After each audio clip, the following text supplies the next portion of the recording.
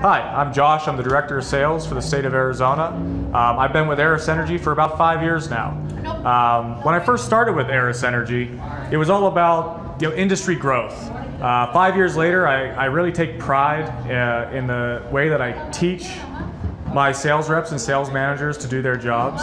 Um, when we come into your home, it's less about decorating your roof with solar panels and more about doing what's in the best interest of you, the homeowner.